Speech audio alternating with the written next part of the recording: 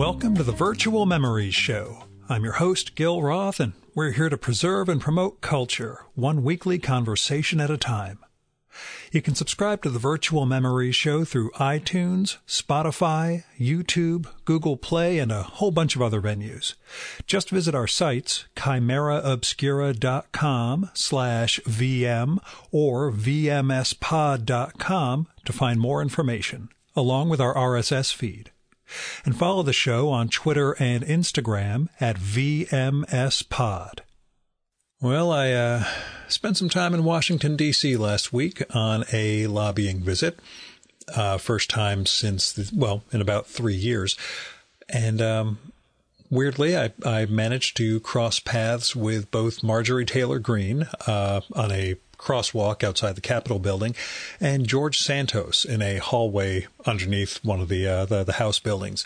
Um, it was weird. Fortunately for me, I do not have any dealings with their offices, so there was no staff meeting related to that. But uh, yeah, just one of those. Ah, yeah, that's who that is. Fine.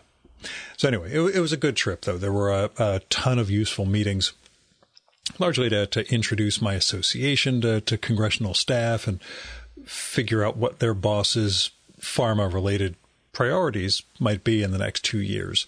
Um, more of that ahead and stuff that I can't talk about, talk about because of work and confidentiality and stuff. But I'll say that I was pleasantly surprised at how you know how um, well thought out some of their positions were on things. I, I went in expecting a certain mindset and, and discovered there was a lot of flexibility and a lot of uh, room for conversation. So that was good.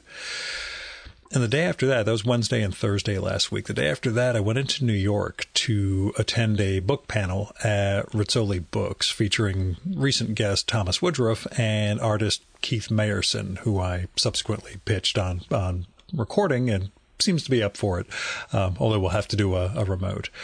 Um, the event was a blast. Uh, the two of them had a, a really great conversation, uh, some good Q and A, and Rizzoli's just a wonderful bookstore. Not as great as the the old location, but times change. Uh, and I got to meet with another past guest, uh, Anita Kunz, who was in town for her new exhibition uh, opening. And I got to gab with upcoming guest Leela Corman, uh, who recognized me um, in my my strange, strange look. Um, and I got to schmooze with some other potential guests. Just met met a woman at the cash register. We were both looking at at Mayerson's book, and um, we got to gabbing, and we've emailed subsequently, and hope to record sometime this spring. Uh, I'll fill you in on that later on. Um, then met other people while I was just standing online to, to get the book signed, and well, anyway, I, I you know, it was just neat getting to do something like I used to do, which is going into the city on an evening for a little culture. It wasn't like a day trip. I just left the house at 445, uh, got to the city, took the subway, went to this thing, turned around, stopped at Fairway to pick up some coffee and some other stuff, and then, then got home. Um, so yeah, it, it, was a little refreshing. It was like, it was like the before time, except, you know, with a mask and, and my crazy hair. Oh yeah, that was the uh, the other funny thing that happened. See, I was walking from the subway stop on 28th Street over to the bookstore, and on the subway I tied up all my hair so I would look a little less crazy. Um, and I happened to untie it just when I was walking past some, I'm not sure if it was like a storefront or a bar or a club. I, I couldn't quite tell. There's a sort of, um, well, there's a line of like two dozen youngish black people lined up to get in somewhere. And I, I couldn't tell just as, as I was walking by. But, but in that moment, I untied my hair and the breeze that was going on just sort of blew my locks back. And, and I heard one of the women online just say, yes, hair, as I passed her. And I, I nodded in acknowledgement and, and felt pretty good about that. Um, so that was pretty awesome because I don't get much of that out, out here in the uh, the woods of New Jersey. The deer don't really uh, you know compliment me on my my strange hair growth. Anyway, anyway, that's me prattling on. Let's get to this week's show. Um, my guest this time around is James McMullan, the artist, painter, instructor and, and illustrator primarily, and whatever. We'll just call him an artist and, and be done with it. Um, James is best known for painting the posters for Lincoln Center Theater here in New York City, or in New York City, for more than 30 years. Um, he also authored a book called High Focus Drawing about his method and philosophy toward figure drawing, um, which has taught me yet more things that make me feel like a, a failure at drawing and, and have me doubting even more of my, my ability to put anything on paper. Um, but it does have me doing some more thoughtful sketches of of my dog Bendico because he's the only person or the only being here that poses for me for more than ten seconds. Um, in fact, after we wrapped up the the podcast, James took a look at some of my drawings and sketches that I had with me, and then he literally just went over to his drawing desk, took out some tracing paper, laid it over some of my drawings, and did these quick sketches over them or just lines over them to show me where, where lines could have worked better. Um, it was absolutely illuminating and yet another experience I never would have gotten if not for this darn podcast. Um, Anyway, last November, uh, James, we'll call him Jim, Jim released a book called Hello World The Body Speaks in the Drawings of Men from Pointed Leaf Press. It's uh, sort of coffee table sized, a little under 100 pages, and it consists of Jim's sketches of, of men, except they're not pencil or ink sketches. They're, they're done using gouache and bristle brushes, like directly, not, not you know studied in, in other uh, you know, again not not done with pencil or ink or anything. So so the figures are made of strokes of color and and white space, and they're just incredible to look at. Like his his understanding of form and weight and light they're apparent in, in each figure, but his use of of basically non-realistic color to get across those bodies more more loosely and expressively is just uh, well, it's just amazing. Um, and as someone who's never really drawn from a model, I I sort of marvel over how much Jim has internalized all of this and how how well his his shorthands work and and how the colors manage to evoke so much of the, the, the energy of the models and he clearly loves the male form, which we'll we'll talk about. Um, and most of the drawings also have a couple of words of captions in a, a painted cursive hand, explaining a little of, of what triggers or centers each drawing. And the introduction is in the same style, just two pages of just a few lines in that, that same cursive. And it's it's really all about the the energy of the models as expressed through these these brushstrokes of color. And this will sound weird, and the realization that there's no shortcut to that understanding Jim's developed, and that understanding is developed over 80 or so years of, of drawing. He, Jim is 88 years old, by the way. I um I don't know how else to talk about Hello World. I'll, I'll, put some images in the the show and episode notes for this one, as well as some links to the book, so you can you can check it out. But uh, yeah, it's really just a marvel to look at, to to see the understanding and the expressiveness he brings to this this work, and the you know going with this chosen limitation, you know something it doesn't allow for correction, erasing, etc., and and tries to find the essences in these these bodies and and what the eye sees. Anyway, um, hello world. Uh, the body speaks in the drawings of men by James McMullan, uh, Pointed Leaf Press, awfully good and and just well for me instructive in in a, a lot of ways. In, especially in concert with high focus drawing, which we'll also talk about. Came out decades earlier. We'll also talk about that during the, the show. Anyway, Jim is good friends with Ed Sorel, the great artist, illustrator, cartoonist, etc., who I recorded with in November 2021. And after I wrapped with Ed, Jim was the first person he suggested I record with. So when you hear Jim talk about Eddie, that's that. Um, Jim was also pals with the late Milton Glaser and with the still with us Walter Bernard, who were both on the show in 2019. And what I'm trying to say, in other words, is he's in the uh, the pantheon, and I'm I'm awfully glad he was able to give me time for a conversation. Now, as caveats go, uh, Jim got up a few times to check books or get art to show me, and um, he also opens and closes some flat files a few times, so it kind of messes with the audio flow a little bit.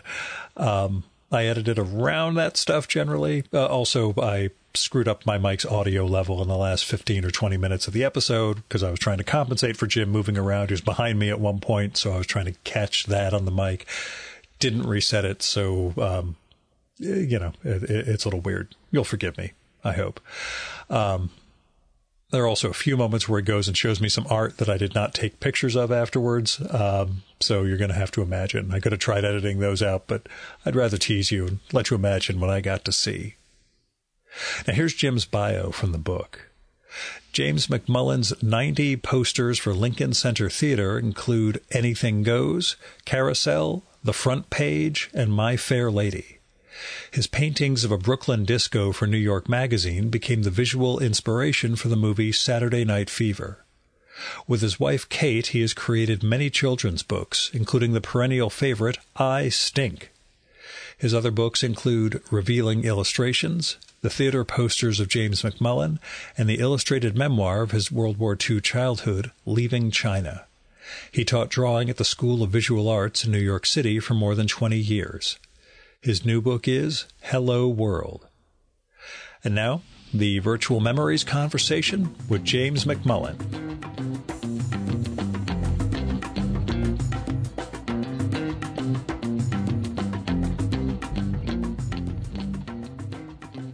Tell me about Hello World.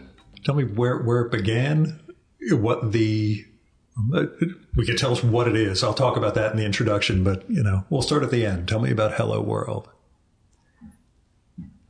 Well, I would say since the age of 15 or so, um, I always loved to draw. And uh, we used to get National Ge- Geographic magazine in China. We didn't get lots of other magazines, but we got National Geographic. And I loved to look at photographs and copy them and draw them and everything. But then you know, as I grew older, I realized that the figure, the human figure, was central to what interested me in the world more than landscape or or still life. I mean, I certainly have done a lot of landscape and still life in my life, but it's it's the human figure that really uh, fascinates me, and it's partly because I was uh, a sissy kid who was always on the fringes of activities. You know, I was the um, I was not good at sports, so I was not chosen. you know, for the soccer team or the cricket team or whatever it was, and uh, so I was always looking at other people doing doing things, and particularly other boys, because it fascinated me, uh, and of course it, it, it challenged me too. That this is what I'm not, you know. But um, so I, I, guess you'd say that I, I, have a kind of voyeuristic view of the world. You know that I'm the guy on the sidelines looking at what's happening, and um, and so. Um, when uh, early, I mean, I, I, had success as an illustrator pretty, pretty soon. I mean, in art school, I was doing, I was doing drawings for Harper's Magazine. Uh, you know, uh, pretty young, and so I was able to make a living pretty quickly as an illustrator, um, and so. Um, I realized I could teach because I've always had that because I suppose I have this voyeuristic view of the world. I also have a kind of emotionally analytic view of the world. In other words, I am I, I do understand how other people are are operating in the world. Yeah. Uh, given their their attitudes, the way they speak, and all of that stuff.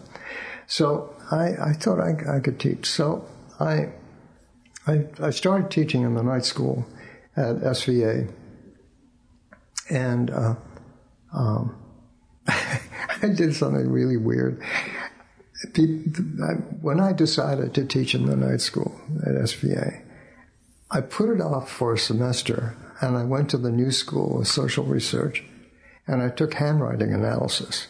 Yeah. Because I felt that what I could help young illustrators to do was to find their authentic selves in their work. Hmm. And I felt that the way that they they made letters, that they in cursive writing, they would reveal a lot about themselves. So that to sort of teach against what they brought in as assignments and talk about it in relationship to their handwriting would be a, a really interesting thing to do. and so I did it for a semester and it it showed me that okay, maybe there is some linkage there somewhere, but it you you you can't in a practical way you can't find it quickly enough or use yeah. it. You know, the weird thing is that those um, students, several of those students from that semester, and you know, it was when I was like maybe 32 years old or 30 years old. I don't know, it's a long time ago.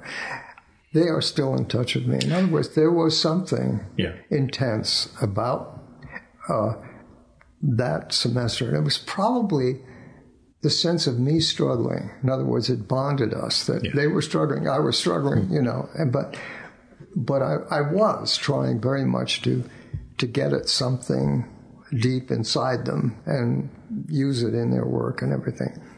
So, but the other thing it showed me is that I really wasn't interested in teaching illustration. That teaching concept, teaching narrative, uh,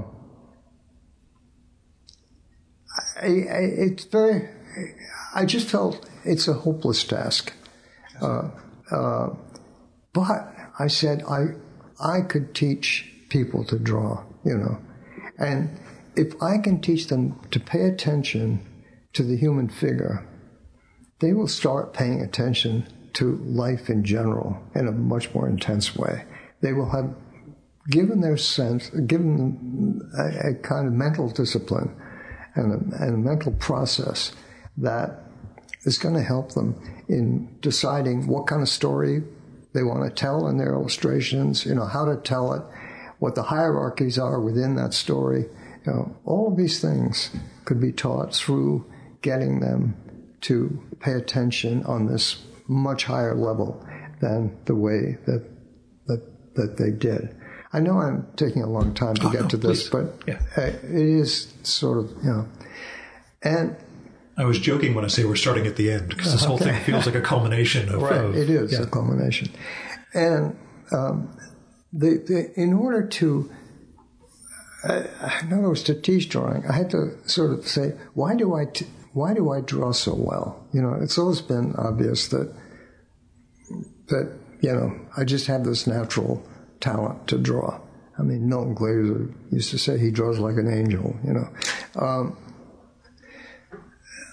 so I had to say, why do I draw so well, you know? And I realized how how intuitive intuitive it is, how much you have to give yourself over to what you are drawing, uh, and and try to get at its spirit, right?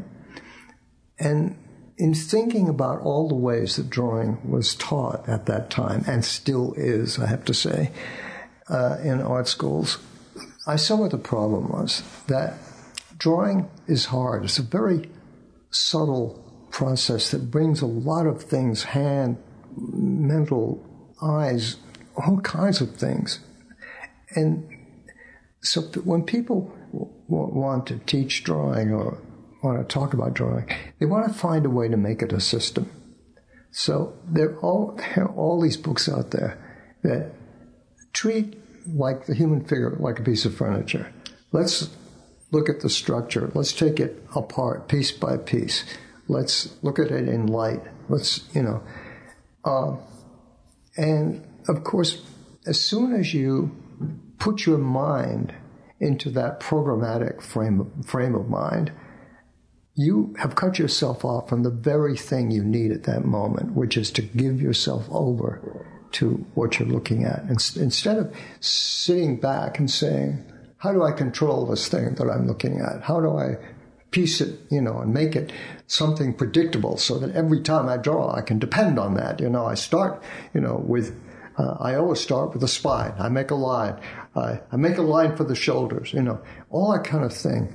It just, it just cuts you off in, from the humanity of, you know, w- what you're looking at.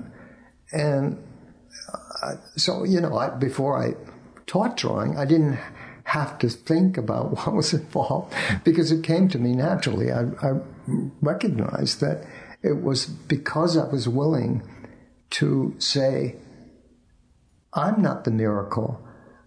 The figure I'm looking at is the miracle, you know, and to control my ego in that sense and to not think about fucking style.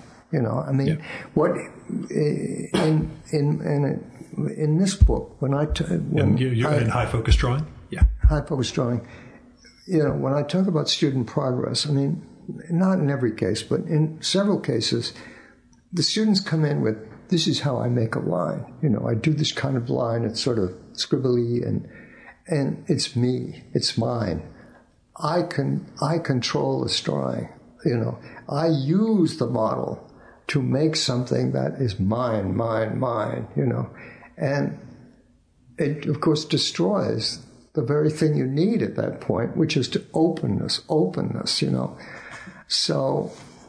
Uh, so anyway, I, you know, I, I guess pretty quickly uh, understood this that w- what I needed to do with my students, you know, and uh, you know to stop them, to see them, to see drawing the model as a, a style exercise, and what I would say to people I said, I know, you know, here you are in this field of illustration, and everybody's telling you that what's going to make you successful is to have a style, you know. So you are concerned about style, and, and certainly in the marketplace, art directors are looking for some kind of identifiable, identifiable style. I said, but let it go because your style bubbles up naturally through the way that you see the world. All of these things will make your style. You don't have to be so controlling to about your style. instead, yeah. What? To, to overlay the style instead of letting yes, it. letting the style yeah. evolve out of the very fact that you see the world as you are and that your your father beat you up and you know, your mother was nice to you. Uh, all of these things uh, are yeah. going to affect how you see the world and they will naturally be there. But right now, you just have to uh, open yourself as much as possible, and you know, and then I, I, in terms of the human figure, I said, the, the, I would do this little exercise at the beginning of the class, at the beginning of the semester. I would say, okay, let's all stand up, and we'll just stand up and straight, fine. Just you're totally balanced, you're very symmetrical.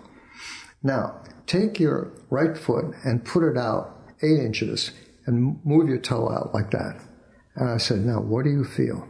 You feel everything going up to your head because you have made that. Because whatever you choose to do, the whole body cooperates right. in making that happen. So that there is this wonderful rhythmic cooperation that's happening in the human figure. That if you if you just allow yourself to tune into it, and instead of seeing distance, thickness, you know, just allow yourself to see function, and all of your worries about measuring will also solve themselves because it's so much more powerful to when when the model goes like this, instead of saying this to this, this to this, this to this, just think of reaching. Think of the eyes looking at the hand. Think of of the of the whole action in terms of all of the things, the shoulder blade, everything having to cooperate in order to do that. And if you let yourself see it, you will see it, you know. And time, I, I mean, I think one of the most important and um, perhaps unique things about high focus drawing is that section on student progress. Because it, end where you're yeah, because it gave yeah, me yeah. a chance to show uh, that that each individual student opens up to you know to the human body but they open up in their own way but they get it you know and they leave behind all of this egotistical it's my line it's my style yeah. it's you know like all of that thing and they start to have so much more pleasure in in drawing because the human figure then becomes this miracle you know that they they respond to. So that was uh, I, I, realized. Eh, I suppose it's partly because you know the kid who couldn't you know do gymnastics like the other boys could uh, is in awe of you know uh, all of those kinds of wonderful things in the body and um, so energy uh, I, I, you know, I really stressed energy. We're looking at energy when we look at the body. Even a body lying down, it's a different kind of energy, but there, but there is energy in just the fact that you know you support yourself. Yeah. In, well, you, in the book, I mean, you show how that's more challenging oh, in, in high focus drawing because you you need to show the the pressure, the, the pressure, the, the weight, sense yeah, of the, yeah, exactly. the, weight and gravity of the body yeah, on the ground. Yeah. yeah. So, um, so anyway, um, the uh, you know the first couple of semesters when I taught, I got a lot of pushback from my students because they had all been taught these systems, you know, so that no, we we're not supposed to do that, you know. Uh, and this equals X number of heads, and, and yeah, yeah, exactly. Yeah. You know, uh, um, just you know, yeah. there's so many systems. Anyway, so uh, towards the three quarters of the way through that semester, I thought you're on a fool's errand, Jim. They they want the students desperately want a system, and what you're saying is there is no system. You know that you you have to find these things through your own humanity and you know your uh, and then I had this one kid and he was a bad boy you know and um, what's that thing that people do with a ball in their feet and they anyway, it's some kind of game. And, you know, between poses, he's always doing the game with his feet and everything. But, of course, he was incredibly dexterous. I mean, you know, the fact he could do that. Oh, the whole hacky sack thing? Hacky little, sack, yeah, yeah. You know. And, Flashing back to college. Sorry, go, go yeah, on. Yeah, So, anyway, um, he, he was a, um, a Spanish boy. Uh, and, uh, his drawings were very brutal when he came into the class. And, but the thing about him was that, first of all, he was athletic. Secondly, he was sensuous, you know, and I could tell that, that in the, the lines that, yeah, you, you probably, your girlfriend probably likes you a lot, you know. Uh, so, uh, and suddenly he got it. And man, it just went so fast with this kid, you know, that it was almost like I'd given him permission to something that he deeply wanted to do, but never, you know, never, never had the circumstance to do it. And of course, everybody in the class saw it. They saw what beautiful, you know, what energetic, you know, engaging drawings he was doing. So one after another, they began to follow his lead and so by the second semester, I had maybe five students out of 20 that were really doing well, and they were, you know, um, and and they understood that that it was a deep process. In other words, it, it doesn't something that you know the you flip a switch and suddenly you, you draw well forever. No, you you realize how inexhaustible the sense of looking and thinking and feeling is when when you're drawing a figure, and um, and it was it was great. And and then they were only supposed to take me for one semester, and uh, so they started to come to me and say, "We we want to take you for another semester," you know. Yeah. Um, uh, and I said, "Fine," because exactly you you get it that it, you you just started a, a wonderful journey, you know, and so so anyway, I got a lot of kids that came to me, and I gave them all to, permission to take me for a second semester. And then the uh, the chairman of the department called me into his office, and he said, "Jim, I'm a little worried about what you're doing. These are not the rules. You're not supposed to teach these. You're not supposed to have them come back." And I'm afraid that you're trying to make a cult. and I said, I'm, I'm, not really. I'm just accidentally so making a cult, but not deliberately. Yeah, right. but the weird thing was that this particular guy, heavily tattooed, very, you know, always trying to be more youthful than the students, was himself very much into making himself a cult, you know. So, uh, I mean, I think that was part of it that he was the chairman of the department, but I was the guy out in the world doing covers for magazines and, you know, uh, a, a, lot of work. So, uh, so anyway, I continued. I mean, and one of the things in, in teaching is that I drew all the time. I, uh, and you know, we'd have class discussions, and my drawing would be there, and it would give me a chance to say, okay, this is what I saw. Maybe this is something you could see a little more, you know.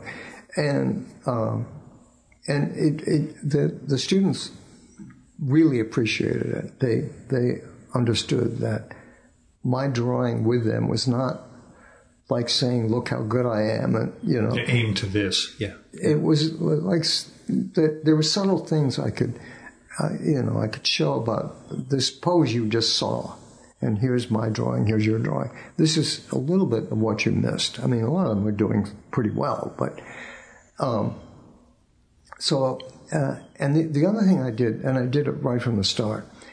I was very. I said these are the materials you're going to use. You're going to use uh, 19 by 24 um, bond paper pad and uh, 2B and 4B pencils and an eraser and a sharpener. That's it. Because I wanted to stop people bringing in materials that would give them the chance to play the style game. You know, this is my style, and the, you know that I, you know, so I want everybody to be on the same literal page. Field. Yeah. yeah, yeah, you know that that, and boy was that good. That was one of the best um, decisions I ever made was to just have everybody using the same materials because it really gave us a chance to look at drawings and see what was happening and to begin to distinguish, you know, how people were showing who they were through their drawings, you know, not stylistically, but how they saw, you know. And um, I mean, some some people were very sensuous in the way they drew. Other people were very kind of cool, you know, but but they were still seeing the model, but they were seeing it through a certain personality of their own, you know. So this went on for maybe 10 years. And then I said, you know, I want to I want to try something else for myself, you know, because I wasn't getting bored exactly, but I needed a new challenge. So I took a little palette and some uh, gouache paint, gouache tubes, and uh, bristle brushes. Uh, and I began to to draw with, you know, in color, and uh, but color became totally psychological. It wasn't naturalistic at all, you know, and it it did open up.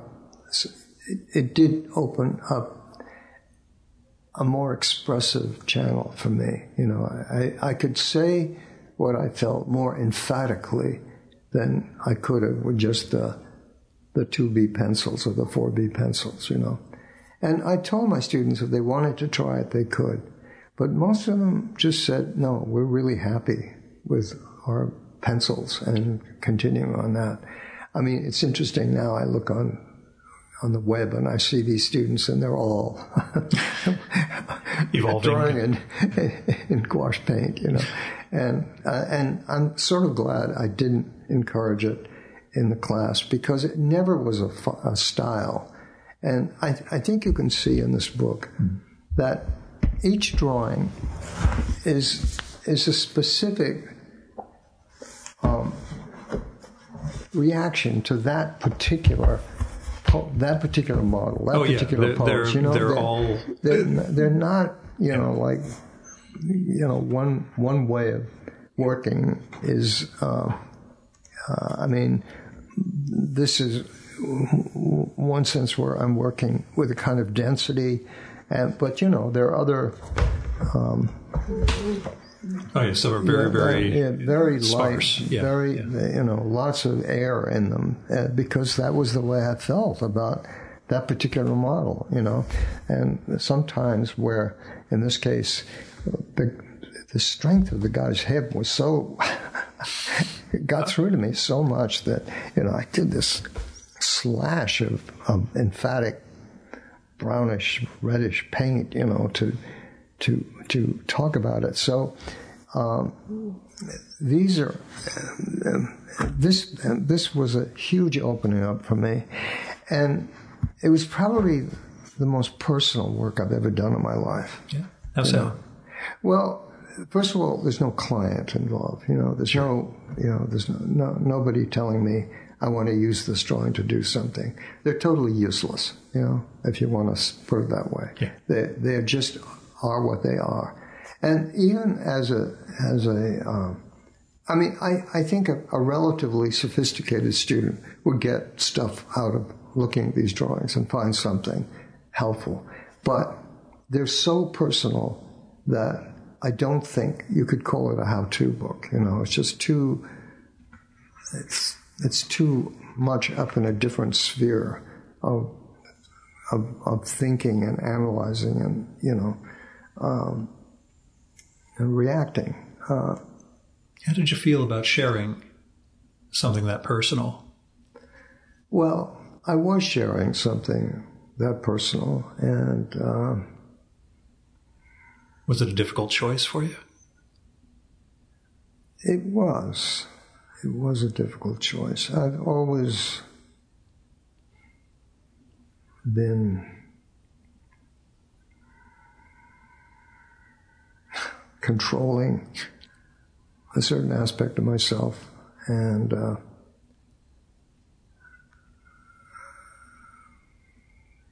I guess this reveals a lot about me. I mean, I think my interest in men uh, is apparent in a lot of my work. You know, I mean, Sure. if anyone really looks and thinks about it, um, why why am I so good at drawing men? You know, um, and one of the points I've done a PowerPoint now. I mean, three different versions of a PowerPoint on this book, and I I do uh, get into why men? Why not? Why aren't there women in this book? You know, and so in the PowerPoint, I I show my drawings of women and. I, I've drawn a lot of women in my life, and you know, I don't draw them badly, but and I enjoy the harmony and the long, voluptuous lines in women's bodies, and it's it's it's very beautiful. But there's something in me that really reacts to the aggression in men's bodies. You know, the either the overt or the incipient aggression in men's bodies. You know, this the sense that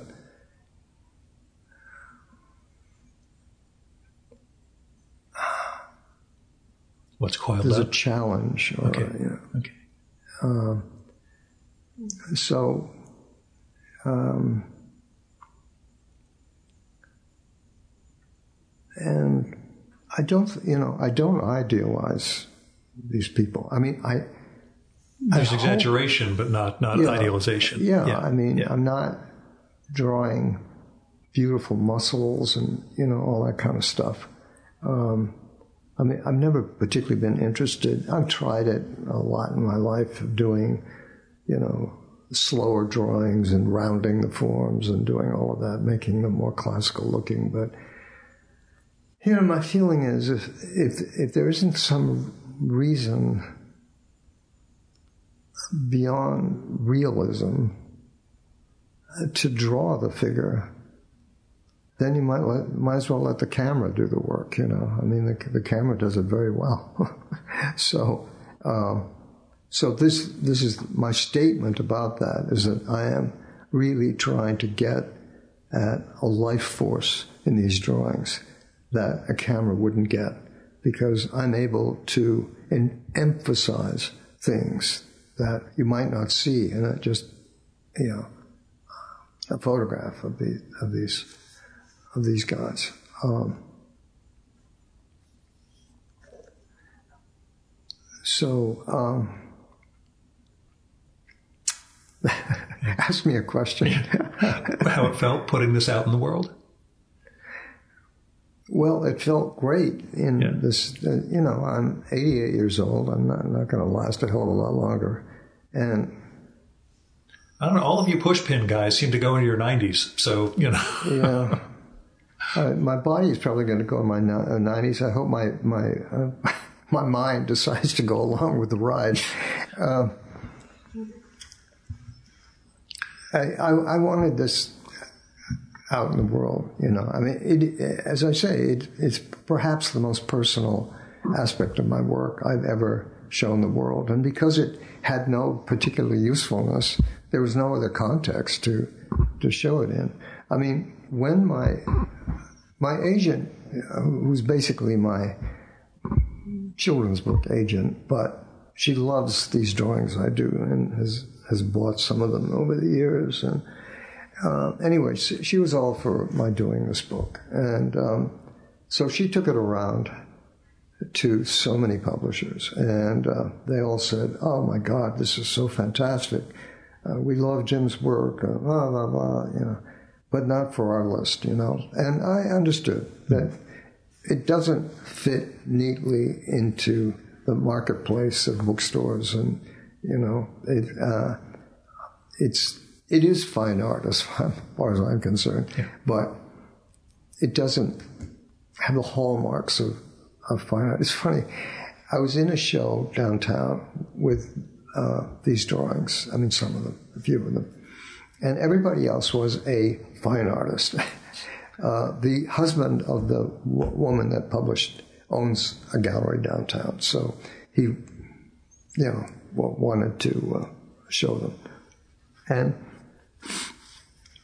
my reaction was that all of the other people look more like illustrators than than I did. They were all high concept, you know. Uh-huh. And I think that a lot of a lot of young fine artists are like that. They they are looking for concept. So there there there, there was you know a lot of this um, sort of you know We're high art, but we're stealing and, and trying to get by.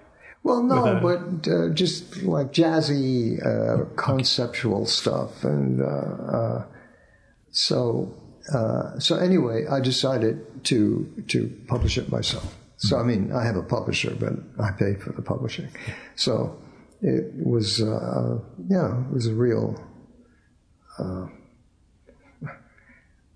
It's a labor of love in a certain way. and and so it's out there, and and I think you know uh, certainly you know, a lot of people like Eddie and uh, Steve Brodner and Steve Heller. I mean, they they know that I've done something quite extraordinary with this book. Uh, but whether or not it will ever find a real place in the market, I don't know. You know, we'll see. So uh, we can never trust the market. No, no. Uh, and it's unfortunately it's expensive. You know, it was a very expensive book. It was be- beautifully printed. that know? was the thing. I didn't mind buying it because you know once it showed up, I thought that's that's it's all on the page. Yeah. You know, it's not one yeah. of those you know, where it looks like a, a crappy reproduction or anything. These yeah, things look no, gorgeous. Uh, and fortunately, I've, I've got this young guy that, that uh, works for me, um, who is fantastic. You know, with with uh, scanning and and you know putting all the stuff in the, the quotes around them. Yeah, yeah. yeah. So uh, that that was really good. Had you felt a, a tension with the fine art world over your career? Was there ever a no, I, the, the, credit I so richly deserve sort of thing, or, or? no, I, I, I just sort of leave them alone. if you know what I mean, it's like um, I do stuff that very few of them could do. I mean, I'm quite willing to admit that there are fine artists working on a higher level, metaphysical higher level than I am, but there are a hell of a lot of fine artists that are just you know, getting by, yeah. getting by, you know. So, uh, um, um, so I'm I'm okay with it. You know, I mean, it's uh, uh, it's out there. The the this status thing, you know, that if you're an illustrator, you're way down on that totem pole of art, but. Uh, but the, the, I mean, of course, the ironic thing is that as a good, successful illustrator, you probably have more effect on the culture you're working in than a lot of fine artists do. You know, I mean, I, uh, I've just sold my my theater archive to the Library of Performing Arts, you know, and um, I mean, the 91 posters I've done for Lincoln Center Theater are as much about the history of New York theater as a lot of things are, yeah. you know. Uh, so, uh, so I, I, haven't felt. Uh, I mean, Milton. I mentioned Milton because he was a very yeah. dear, close friend of mine for years and years, and and we. These were things we talked about, and you know, he took the view that the one I'm just sharing with you, that my work is, is, is his work is, is as significant as almost any work that any artist does, you know. And, but I think he did, it hurt him, I think, a little bit more than, uh, than perhaps hurts me that he that he wasn't taken a bit more seriously by the fine art world. But he got a one man show at the Museum of Modern Art, so you know yeah, the world the caught up with him in, in some ways. But yeah, yeah, yeah. But still, it, it shouldn't be. It, you shouldn't have to be as talented as Milton Glaser and have that level of career to finally get recognition. Yeah, yeah, I'm, yeah, I'm, yeah. So. Um, uh, and Milton generally, uh, I, you know, as I've said, I'm a guy that sort of sits on the sideline, probably way too much for my career. But uh, Milton has always been, you know, very not aggressive but powerful in the way that he was in the world. But you know, and working alongside him when I was at Pushpin, I I saw that, you know, and I I got a little bit from it. In other words, I got a little bit better at. Um, you know, pushing myself into the world, but it was never natural for me. I've always been a guy that is content to to sort of be to, to let my work speak for itself, you know, and uh, um,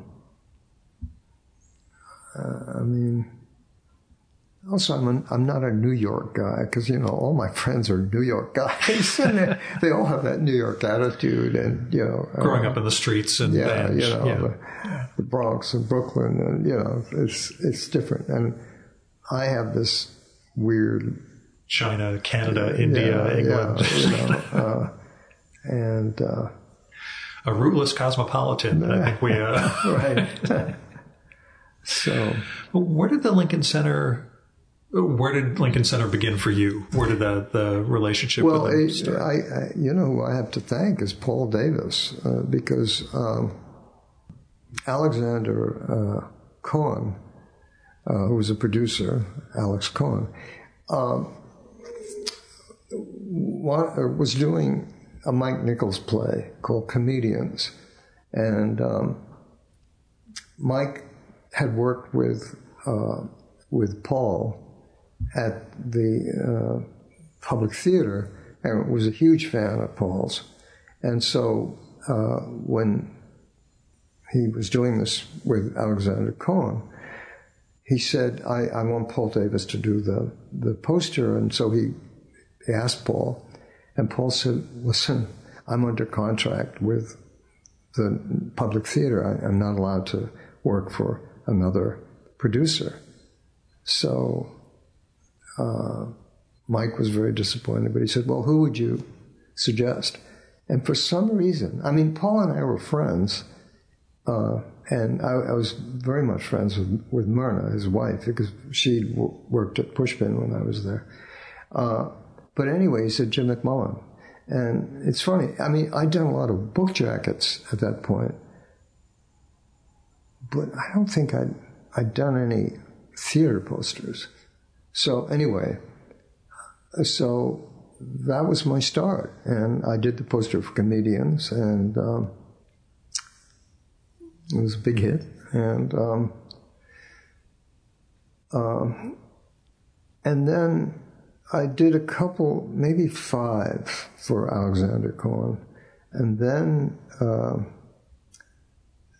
the guy that had been working for him, a, a guy called Bernard Gersten, moved over to Lincoln Center, and Lincoln Center Theater was trying for the third time to get started. I don't know if you know this history. I don't know it well. Yeah. But anyway, they built the buildings and it was all new, it was all great. But no one could make it work, you know. Uh, producers came in and I, I don't know the mistakes they made, but they either made it too arcane in some way or they, but they just couldn't make it work. So they went through two different uh, producers. And then, um, and I don't know why, I was, Greg Mosher was the, uh, the new producer. So Greg, uh, I think Greg had been in film actually, but anyway, he he came and uh, he hired Bernie Gersten because Bernie had already worked for uh, the Public Theater and for Alexander Cohen, so uh, he he was an experienced producer. So when Bernie started with uh, with Lincoln Center Theater, the second uh, play they were going to do uh, was The House of Blue Leaves by John Guare. And Bernie remembered that because of comedians in particular, that I was very good at doing very active posters. And so he, um,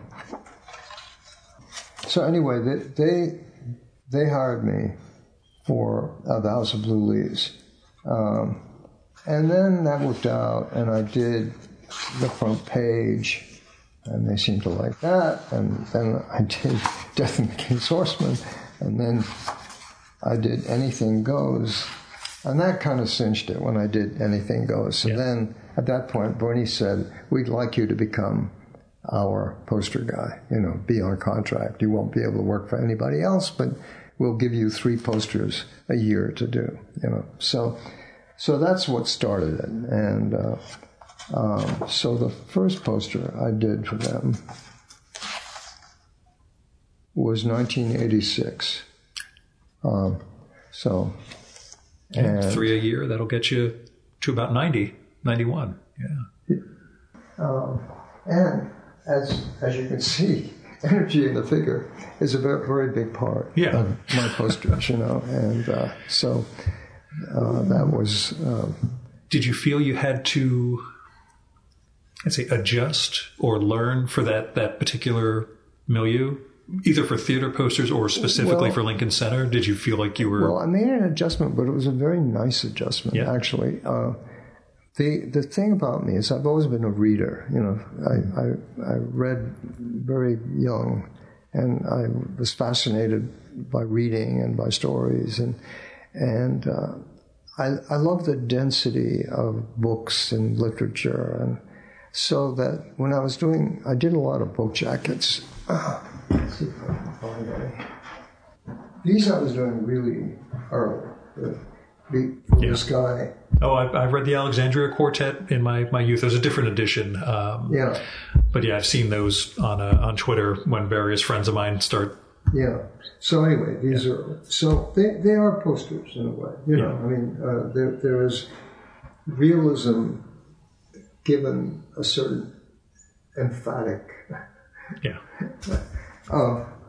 Reading plays gave me a lot of pleasure in the same way. You know, Yeah. to really sink into a play and think about it, and uh, it just meant that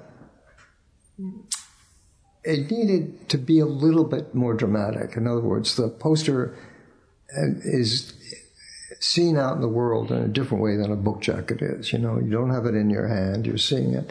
So there, there does have to be uh, an even more sense of emphatic shape, and uh, you know.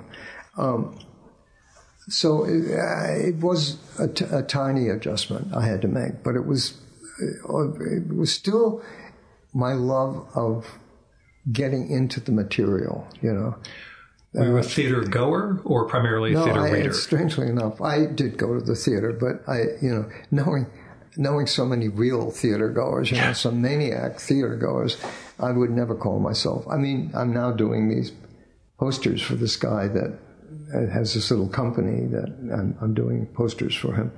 I mean, he's he's redoing my posters, and um, you know, he I, he's like a maniac theater goer, and his whole business is uh, based on you know people that love the theater so much, and you know will buy these posters and all that. So, um, but you know, I, I I I enjoy going to the theater, and you know, ever since, of course, Lincoln Center, I go to every opening, and uh, um, it, it's great. But I, it doesn't come from my love of the theater. In other words, it it, it really comes more from the literary side of things. That uh, uh, and I love the com. I mean, I love conversations with like John Guare and uh, lots of different um, directors and post. And uh, if you ever, I can give you a paperback version of that book. I did bring a big tote bag with me, thinking I might be leaving here with books, but you know we'll, we'll see. Okay. um, Yeah, I saw uh, excerpts from one of your, I think from the, the theater posters book about the the photo reference and everything else that was going in, Right, and, and right. the sitting in the rehearsals, and and Yeah. you know, um, so you have the idea of being part of the process while it's being developed, so you can come back with you know, well, actually, it's a little bit different than that because I have to do these posters so far ahead of time. okay, that a lot of times the cat it hasn't even been casted. oh wow, okay, You know, I mean, maybe the the principle has been casted, but you know, uh, I mean, I just went through this with Camelot. My last poster is that uh, I, you know, had these conversations. I did many sketches, uh, you know, uh, and finally, Adam Siegel, the guy I deal with all the time over there, he said, "Jim, we don't know." the ethnicity of anybody in the cast. So give us a, uh, something indeterminate. yeah, g- give us a, um, landscape. So I uh, was gonna say you could do knights, but they'd have the the, the visors down on their helmet, so you wouldn't be able to, to determine. Um, so anyway, this this became the poster. Wow. I'm gonna take a picture of that before we leave. No ethnicity there. nope, just an amazing landscape. You do have a guy in the tree, but Yeah, I did do the guy in the tree. yeah, yes. wow. But you know, the best posters, I think, are the ones where I get to deal with the actor, you know, the actress, and talk with them and photograph them, and you know, uh, where I did this one, which is also a pretty recent poster. As an incredibly amateur artist, um, I find working from photos second rate or just uh, difficult compared to. Now, again, keep in mind, my life drawing tends to be trees and they don't move much. Uh, you know, I've, I've gone on from there, you know, drawing birds and people and all that, but always from photos. And there's always that sense of, as you put it, you know, the photos just kind of capturing the light as opposed to seeing, seeing. Yeah, no, I, uh, you're absolutely right. That drawing the real world is a hell of a lot better than drawing something captured on a photograph. But on the other hand, when you learn to to to to draw well, you can exert the energy. You can see it, you know, in a way that you couldn't bef- before you trained your mind to to you know what to look for. right? Um, um, and for you, the you know, was there a sense where you you, you knew you had learned? Not not when it comes to photos, but just that you would learn to look. I mean, you, you talked about how intuitive it was, and that going into teaching that first time, Yeah. it was there. But before that, was there a sense of I sort well, of know I'm what sure I'm there, doing? There, yeah, I'm, I'm sure there was, but I, it probably occurred, you know, 14, 15. So I, I, I don't remember when I began to see that that you could see. that that I could see into subject matter more more than just, you know, the surface of subject matter.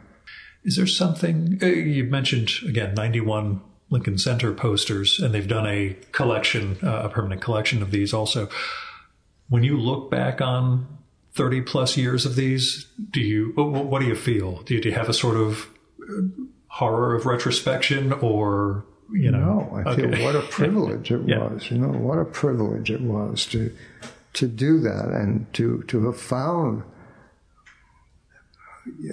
to to have found this form of work which used you know my unique talents in a way you know my my my talent for reading and thinking and then pu- putting that thinking into graphic concepts, right? You know, uh, and uh, and the figure and and to, to uh, I mean, it was the other miracle was that the the the people at Lincoln Center got it pretty quickly because I remember a friend of mine. I had a show uh, out at the Art Center at, in Pasadena a couple of years ago of my posters and. Uh, I, and this friend of mine who's an illustrator, he walks into it and he looks around and he says, How the hell did you get away with it? because they are, you know, the, the wonderful thing was that there was no, um, there was no advertising agency or uh, people analyzing no sales force telling them you can't do that poster. It doesn't have enough sex or love or you know romance or you know. Uh, they somehow they somehow got it. Okay, this this isn't what we expected, but we got to admit there's something going on here that we think will interest people. And then what happened was the fact that my posters were so different than what everyone else was doing, uh, that became part of, of their identity. And actually, uh, the head of Lincoln Center uh, just uh, did a piece in Airmail magazine saying exactly that. We we owe Jim our identity because of his particular take on things. You know, uh, I mean, one of the things that's pretty obvious um, is that we live, we have lived, and we still live to a great degree in a visual area era, which in which everything is seen from the waist up, because cameramen roaming around the world are always taking it, Yeah. and people want to see faces, and and and they they want to have that intimacy, and I'm I show feet, you know, uh, because I mean, for instance, uh, Paul Davis, you know, who's a one, you know, terrific poster artist, and but you know he d- does the more graphic design thing, which is to come up close and make powerful heads, uh, you know, and which is great. But it's not my thing to do, you know, uh, and and somehow or other I got away with it, you know. I, I got away with backing up and seeing that the whole body is telling you a story, not just not just the face, you know, and just where the feet are, for instance, uh, tells you a story. Yeah, um, I, I don't look back with any regrets uh, in in that sense. You know, I mean, Do you uh, see progress of any kind? Uh, Do do you see things that maybe a 2005 poster, you're like, I, I couldn't have done this in 1986, but, you know, or is it just, again, the continuum of your, uh, your work? the opposite may be true. Yeah, I know. There's always that, that side too. Man, I was a lot better when I was younger. Well, also, uh, in the last couple of years, Lincoln Center has gotten a bit more conservative uh, because the world has gotten more difficult for Yeah. the theater, you know. So um, they, like, two years ago, they replaced my poster, which they loved, and, you know, uh, with with a photograph of the two actors looking at each other like that, you know, uh, because their salespeople told them that's what people want. They want, you know, Yeah. just uh, so. Uh, so I've, I've been lucky, and and uh, and also, you know, the whole world has has in the the world of illustration has completely changed by the computer. You know, and I'm Eddie and I, Eddie Sorel and I, uh, uh, and Steve Brodner, uh, we're we're one of the few people that are still working on paper and and paint and brushes and all that stuff and pens. It's funny, but like every illustrator, it's probably self-selecting on my part, but every illustrator I record with, the guys you mentioned, although Brodner is a, a no because he's afraid he'll say something embarrassing on mic, uh, Ciardiello, Cuneo, Blitt, uh, uh, Mark Ulriksen, everyone, it's Still it's, working on. It's yeah. the physical medium, not Yeah. not you know yeah. Digits. So, but you know what? All of us. I mean, I'm the oldest of this crew, but uh, I'm, I'm the ones you mentioned. Uh, we all have to accept. Okay, the world is changing, and the art directors are now the art directors that were in in art school with the illustrators that they're using. You know, so the whole tenor of the thing changes, and extraordinary things can be done on a computer. I have to admit that there are some elaborate uh, illustrations that I see that uh, would be very hard to do without using. Do you subscribe to Milton's belief that that the computer ultimately constrains you into doing the things computers are good at doing? Absolutely, Okay. I, I, I agree with that. You know, and and also I I feel that you cannot learn to draw very well if you're just drawing on an iPad. You know that with without the the physical resistance of paints and paper and stuff like that, it becomes so cold. You know. Uh, I've tried once or twice. I've got one of those Apple pens, and I tried. I'm like, this is. And again, I'm a novice, but there's still something to be said for the line on the page Yeah. and the Yeah. For me, doing it in ink, Yeah. like Ed, it's the, the irreversibility. Well, that line's there. I'm not doing anything with it now. So Well, the other thing about the computer illustration uh, that you constantly correct, You- so there are no mistakes. You Yeah. know, I mean, it's all like perfect.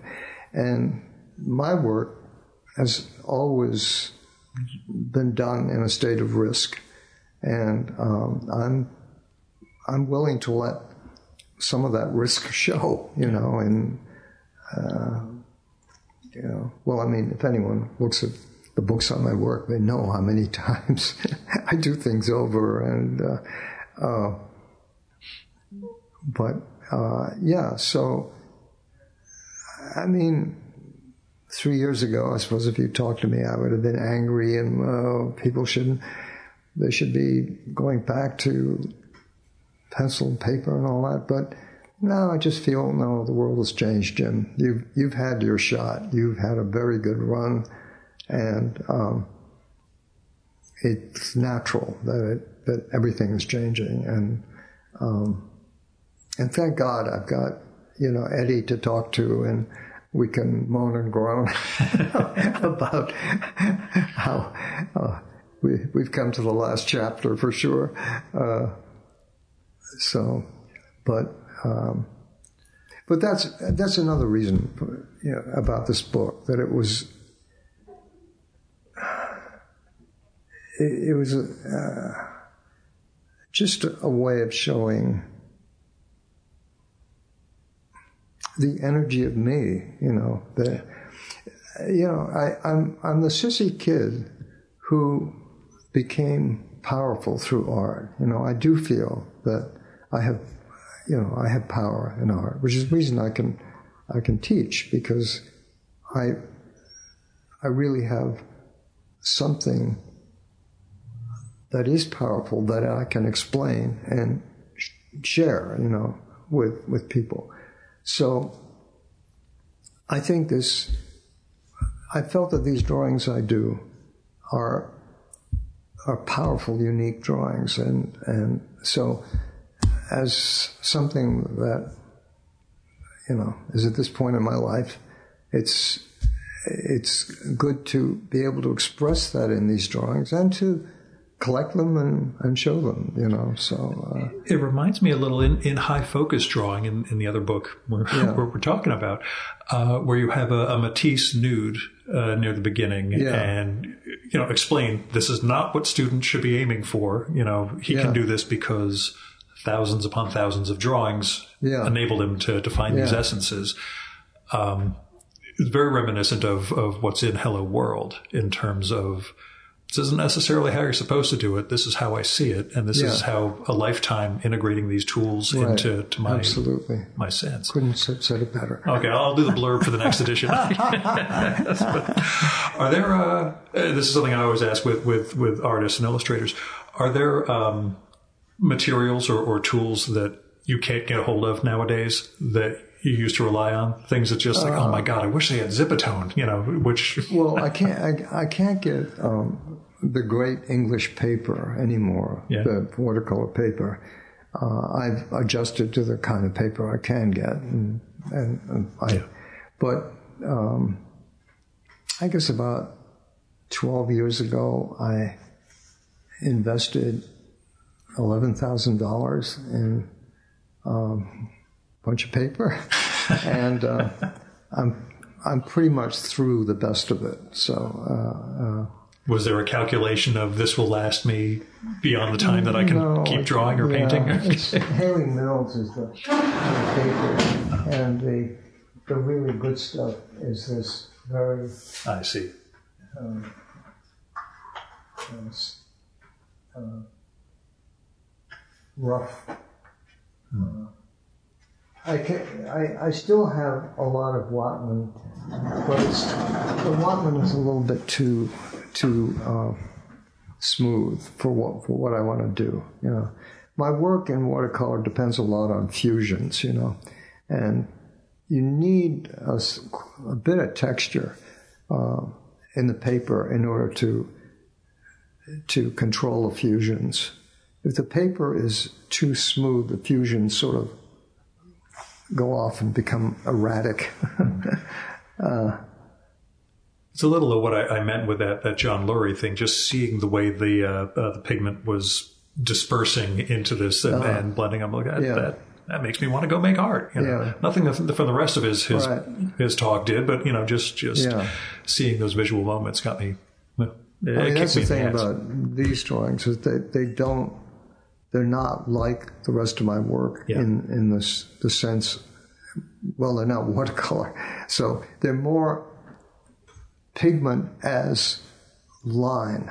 You know, it's essentially line, whether the line is a big scratchy thing like that or the perimeter line. It's nevertheless the impulse is linear, but linear thinking about about volumes yeah. at the same time. it's complicated.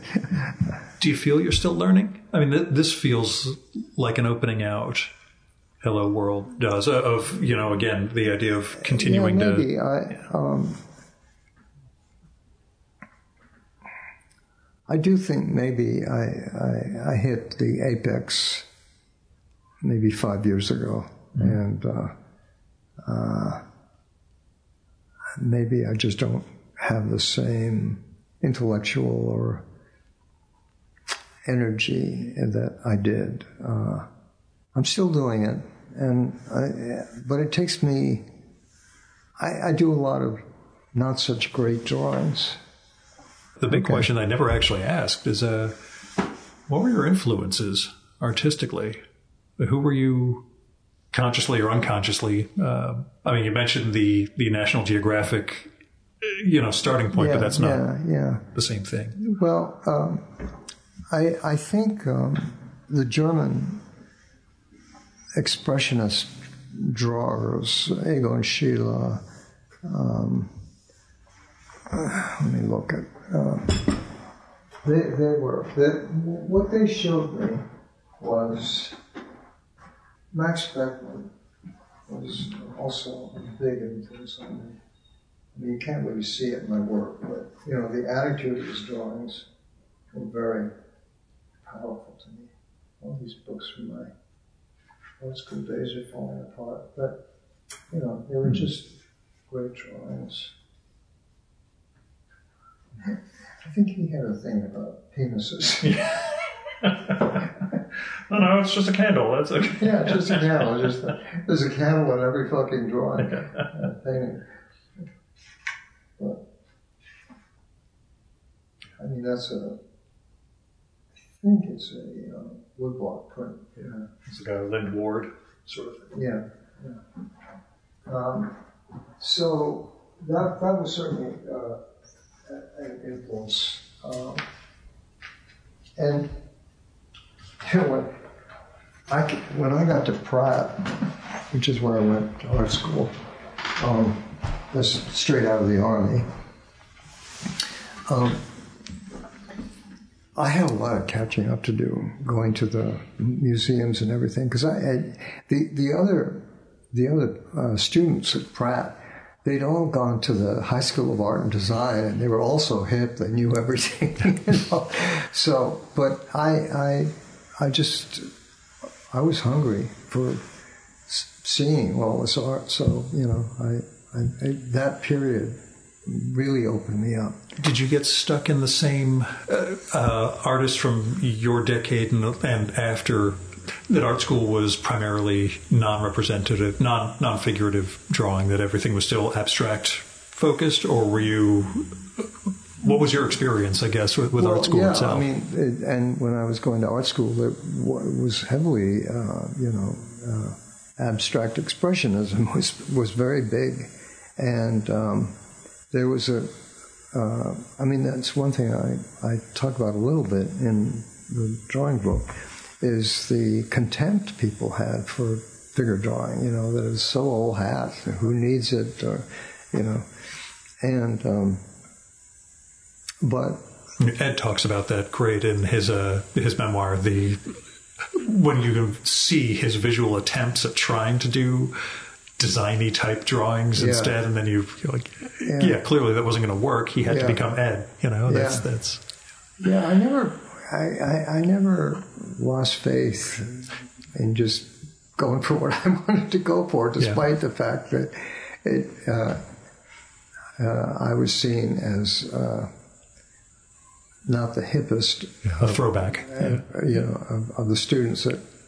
Uh, but, but what helped me was that uh, the program is a, a, liberal arts program, as, besides being an art school.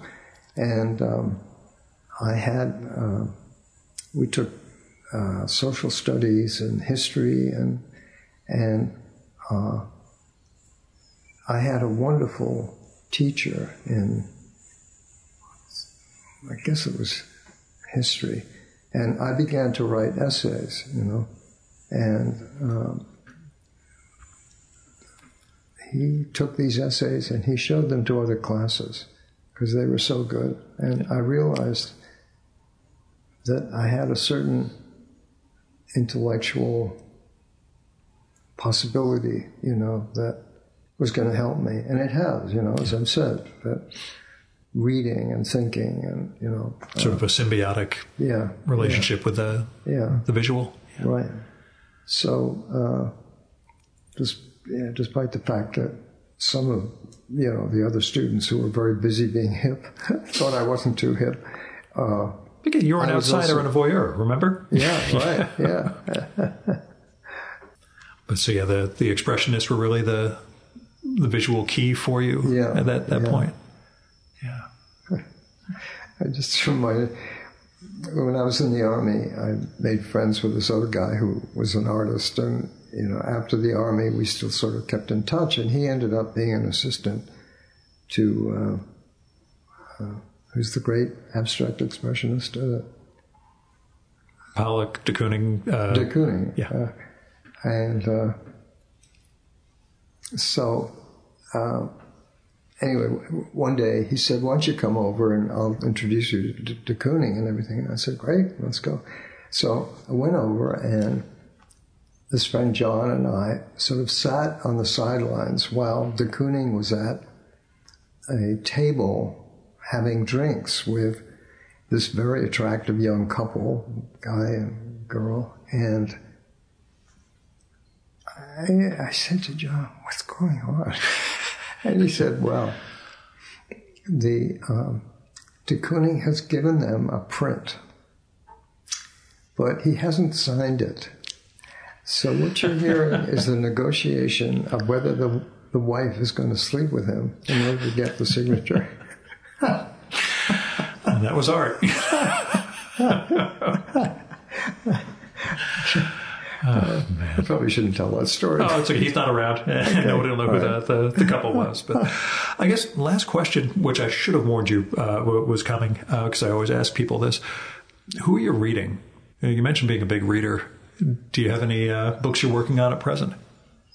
Um, well, I'm reading a, a biography, uh, a biography of uh, Gore, Gore Vidal uh, because. Um, you know, he's been a, a figure in uh, in the time of my life, and sure. he's an interesting character. And people were always telling me when I was young that I looked just like Gordy Hobbs. So of course, he was a good-looking man. So yeah.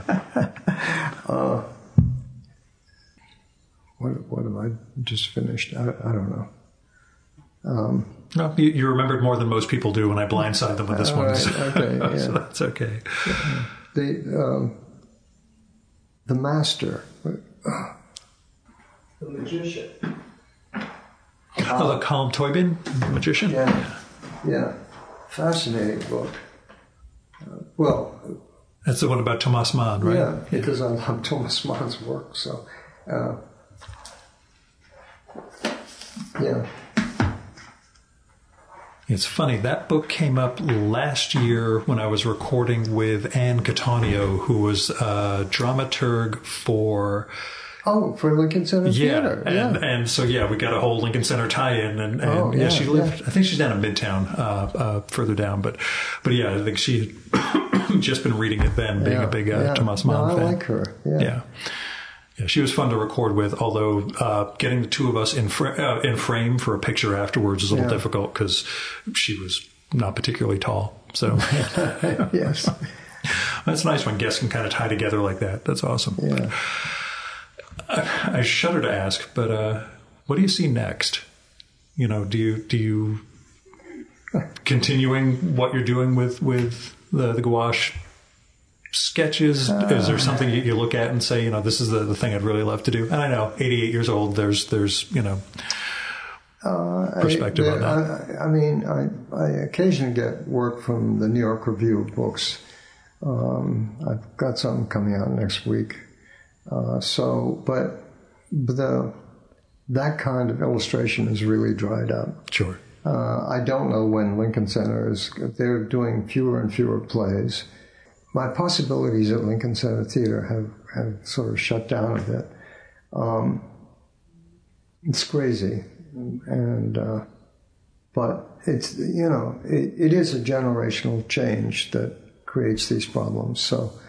Um, so I, I don't know. I mean, right now, you know, I've got a show coming up in Canton, Ohio. uh, I'm speaking at various places in the next couple of weeks. Uh, the Library Performing Arts, once I'm speaking there, and I guess they're going to try to use me uh, a bit um, now that my work is there. Know. And um, I don't know. I mean, my wife is working on a a, a, a kid's book about uh, birds, and uh, if, if if she gets that done, I'll probably illustrate it. So I'm hoping that, yeah, I'll do. Uh, the uh, this whole COVID thing has been very hard on publishing. I've done many book proposals that just get turned down, and um, I did a Kiss book. I did the whole thing, and about a farm tractor, and th- then they, the very inexperienced editor showed it to farmers and they said that I had gotten several details wrong. And so they wanted me to do major revisions on the book. And the revisions would have taken the wit out of the book. And I just saw no reason to do it. So I gave them back their money. And, you know, after all that work, I mean, months of work. So it's been, you know, complicated time that way. And so, um, so I, I don't know what what what I'll do. I'm, uh, um, but painting for joy. Is there any sense of, of you know sketchbook and and how much of that is, is part of your life? I guess you know how, how much art do you make when you're not making I'm, it for uh, for work? a big sketchbook guy. Yeah. You know, I mean, maybe I should be. Maybe I should be going out in the world and and. Uh, um, I mean, for one reason, I've been so busy that Yeah, I haven't needed to do that, you know. But uh, I mean, I think if we still lived out in Sag Harbor and had the house in Sag Harbor, maybe I'd be doing more landscape and things of that sort. I, I'll show you. Hold on. sure.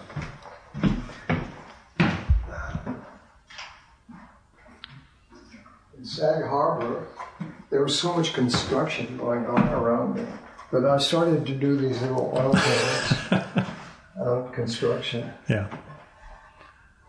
Wow. and I really enjoyed them. They're on um, gesso, you know. So uh, that I think is the sort of texture that seems to suit me these days. You know, this slightly scratchy. Uh, Picture. Was, so I was doing those, and I, I probably eh, maybe I could do them in the city too. I have been thinking about going back to oil paint a little bit. You do have all the construction across the street too. We can work on that. So, There's a lot of construction I could be painting in, in New York. Yeah, I had this moment when I got here. I'm like, oh boy, I hope they're not doing you know Saturday morning actual construction. Right, right, But, yeah. but the thing I want to leave off with, um, I have to tell you, the first listener of mine who suggested we get together uh, before Ed and, and Joe Ciardiello, who also recommended you, um, a listener, uh, artist, uh, former advertising guy, and cartoonist named Kevin Sacco, who took your class, your night class at SVA 44 years ago and said, he's not going to remember me. I don't expect him to, but changed his life. Um, he also sent a assignment uh, uh, painting that um, apparently it was like a weekly assignment Oh. you had for him, and he admitted he was aping your style uh, a bit at that point, and and just wanted to. Well, I to- think that's very interesting. yeah, it's his uncle and grandpa. I, I'll send you his email with the, the notes about it. But um, it was he wrote me this morning with uh, just tell him how much his work meant to, or that the class meant to me, and and you know help shape his uh, his art and his career. So That's great. Yeah. I mean, that's one thing I could do is to go back to teaching, and uh, um, I've been thinking about it. Yeah. but you've I mean, no- I, the, I I gave up teaching when we moved out to Sag Harbor full time. I've had the house, in, I had the house in Sag Harbor since 1970, but it was a weekend house, you know. And I mean, we did stay there in the summers, but but then we decided uh, after 2002 that uh, let's live there all full time, and so we lived there for for 10 years full time. And th- that's when I stopped teaching because I tried the commute, but it was, it's a long haul. yeah, it's a long haul. Yeah, so uh, it meant basically I had to go in the night before and, yeah. I think you've had a an amazing career up to now, and I, I look forward to seeing more work out of you. So you know, you, you better keep Oh, wow. painting. that scares me. I know, but you know, I've got high expectations. So. But Jim, thanks so much for coming on. I really appreciate the time and just the, well, again, getting to see such amazing work over the, the course of the day so Thank far. you. Well, your questions are very thoughtful, and uh, you obviously uh, know what you're doing. Thanks, man.